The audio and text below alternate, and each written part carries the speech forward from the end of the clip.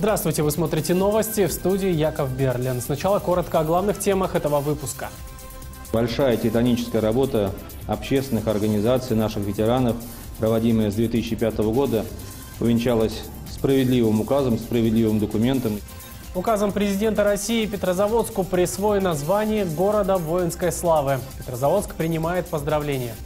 Возможно, это для того, чтобы привлечь внимание тех же иностранных СМИ, показать том, что вот в России какая-то дестабилизационная обстановка, а, привлечь внимание тем, что якобы тут идут политические репрессии. Чего добиваются организаторы очередного пикета в Петрозаводске? Общественность высказывается. Ходьба, она как бы облегченный вариант занятия спортом, увлеченный. Потому что человек, он себя не, не насилует никак, он не перегружает, он просто идет в удовольствие. Как одолеть сосудистые заболевания в республике? В Карелии стартовала акция «Здоровое сердце». Указом президента России Петрозаводску присвоено звание города воинской славы. Владимир Путин сообщил об этом накануне во время церемонии открытия очередной акции «Вахта памяти» в Старой Руси. Столица Карелии действительно по праву заслужила это звание. Тему продолжит Алиса Агранович.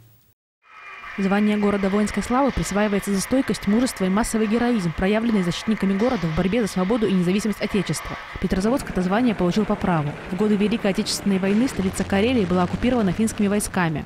Есть устойчивый миф о том, что якобы город не обороняли. Это абсолютный миф. Это ничем не подтверждено. А документы говорят, и раскопки говорят, и э, история говорит о том, что бои на подступах к городу были ожесточеннейшими. Во время оккупации нашего города активизировалось партизанское и подпольное движение. В Петрозаводске действовали три партизанских отряда – Красный Онежец и два безымянных. Город был оккупирован ровно тысячу дней и освобожден Красной армией 28 июня 44 -го. Как рассказывают историки, готовившие обоснование о присвоении Петрозаводску звания города воинской славы, Великая Отечественная – лишь последняя страница военной истории города. Это с начала 18 века была оружейница, арсенал – Здесь выпускались лучшие пушки с надписью «Олонец». Вот. И этими пушками Россия выиграла очень много войн. Порядка десятка войн. Поздравили жителей Петрозаводска и всей Карелии с присвоением городу столь высокого звания глава республики Александр Худиланин и председатель Петрозаводского городского совета Геннадий Боднарчук. Еще с 1945 года знамя Карельского фронта было святым на празднике Победы в июне 1945 года и шло первым.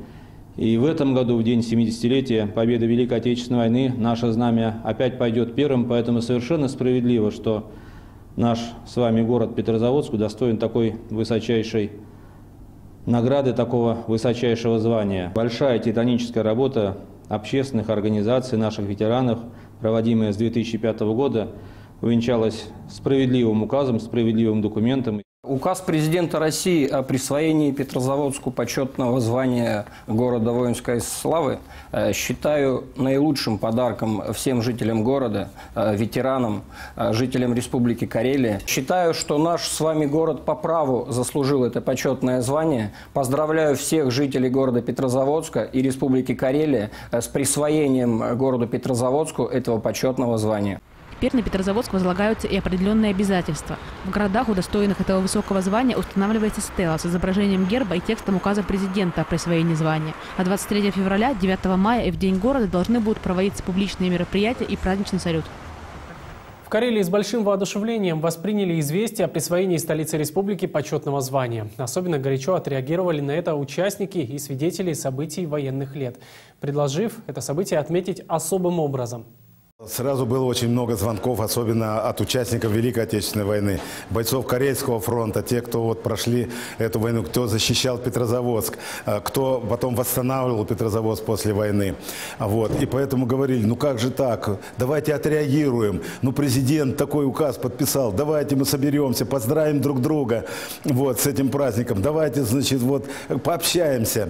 А, и вот э, мы приняли решение, Совет ветеранов, о том, что 9 э, апреля э, в 17 часов э, на нашем таком знакомом Суденском бульваре провести вот такую вот встречу двух поколений. Те, то поколение, которое отстояло город Петрозаводск, то поколение, которое его возродило, и молодежь, которая сейчас живет в этом прекрасном городе.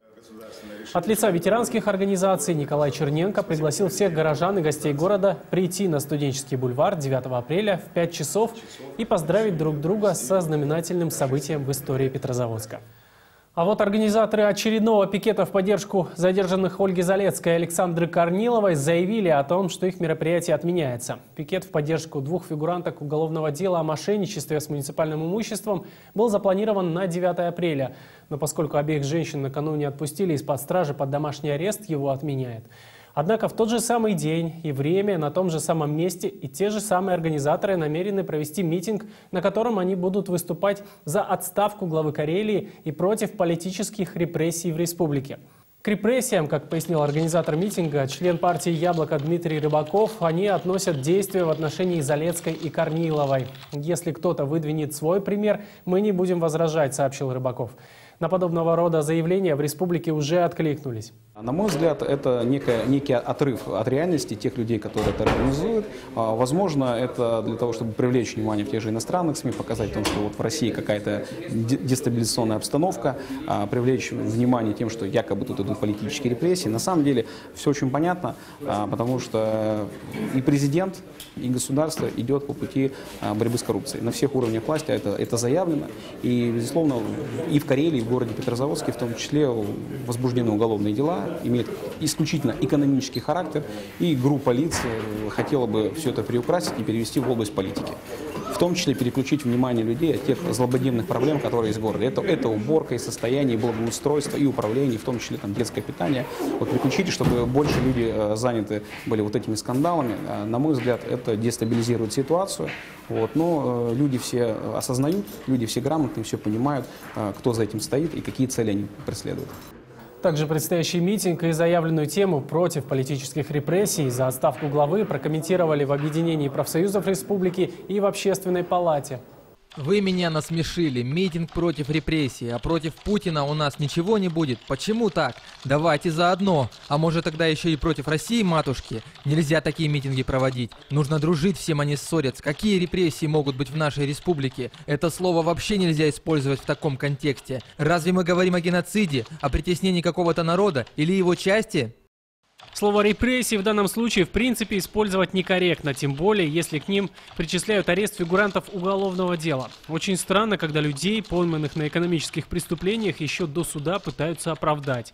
Если люди выступают против, как им кажется, существующих репрессий, это по сути защита своего бизнеса, так пусть и митинг так называют. Если люди недовольны экономической политикой республики, пусть скажут, что конкретно их не устраивает и приведут свои примеры решения проблем.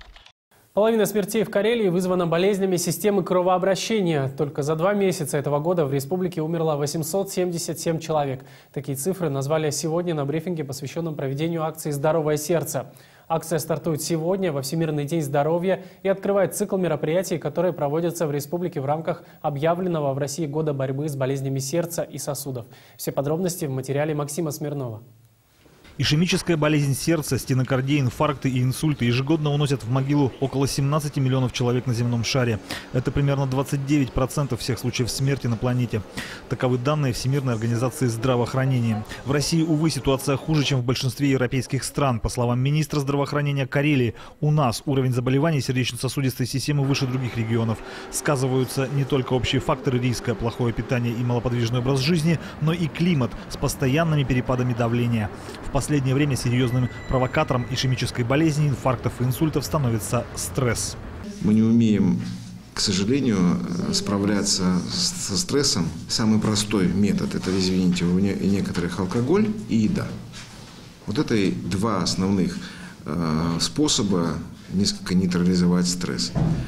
Другие, они требуют больше силы воли, которая не всегда в стрессовой ситуации у человека есть. То есть нужна личностная мотивация. Вопрос снижения уровня заболеваемости сердечно-сосудистыми заболеваниями не только медицинский. Изменить ситуацию можно, отметил министр, объединив для решения этой проблемы усилия медиков, представителей культуры, образования и СМИ. И заниматься нужно в первую очередь профилактикой, чему и была посвящена акция «Здоровое сердце». В Национальную библиотеку пришли как пожилые петрозаводчане, так и молодежь.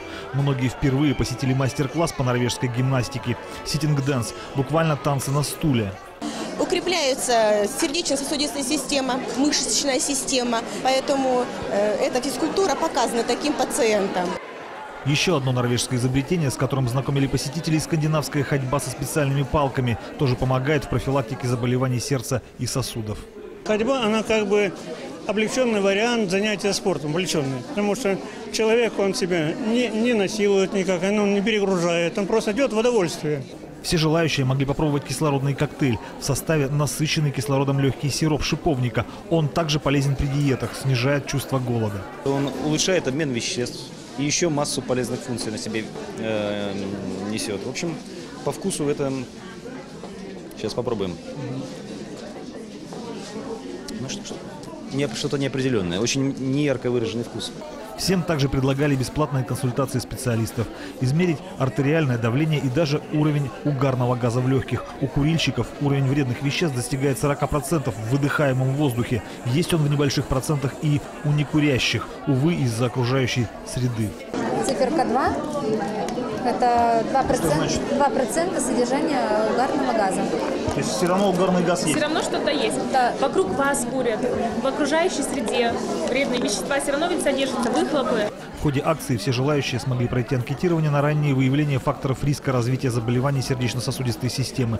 Подробно узнали о пользе диспансеризации, которую необходимо проходить не реже, чем раз в два года, о новых медицинских препаратах и методах профилактики и лечения сердечно-сосудистых заболеваний. А сейчас коротко о других событиях республики. Необходимо ответственно подойти к выполнению мероприятий по защите лесов от огня, заявил глава Карелии Александр Худиланин. Он напомнил, что пожароопасный сезон начинается с 15 апреля. Все силы республики уже приведены в готовность.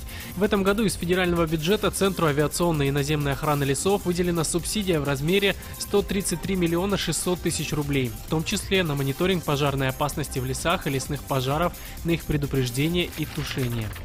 Сегодня на сайте правительства России опубликовано постановление с обновленными правилами дорожного движения. В числе прочего, теперь на перекрестках страны, где есть светофоры, можно переходить дорогу по диагонали. Также изменения касаются пешеходных островков безопасности, дополнительных секций светофора, парковки и движения велосипедистов. Водитель большегруза, по вине которого погиб велопутешественник Александр Гречкин, повесился в своей машине на одной из стоянок в Тверской области. По информации «Комсомольской правды», при мужчине найдена предсмертная записка, в которой он просил никого не винить в своей смерти. Напомним, путешественник совершал велопробег в честь 70-летия победы в Великой Отечественной войне. Одним из пунктов марафона должен был стать Петрозаводск. В Лохском районе Карелии перед судом предстанет врач-хирург районной больницы. Его обвиняют в смерти двух пациентов. Согласно заключению судмедэкспертов, к смерти пациентов привело неадекватное лечение. Материалы уголовного дела будут направлены в Лохский районный суд для рассмотрения по существу. В рамках Года литературы Национальная библиотека Карелии запускает новый проект «Читка». Раз в две недели в одном из залов библиотеки карельские писатели, поэты, прозаики, драматурги, эссеисты будут знакомить читателей со своими новыми произведениями. Откроет проект Галина Акбулатова, которая 8 апреля прочтет пьесу «Послушайте, как кричат муравьи».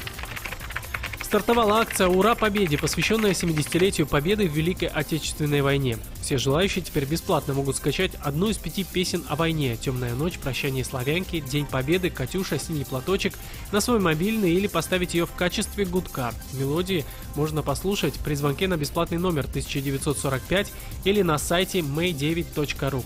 Также на сайте можно принять участие в голосовании за лучшую песню Победы. Это все новости на сегодня. В студии был Яков Берлин. До встречи.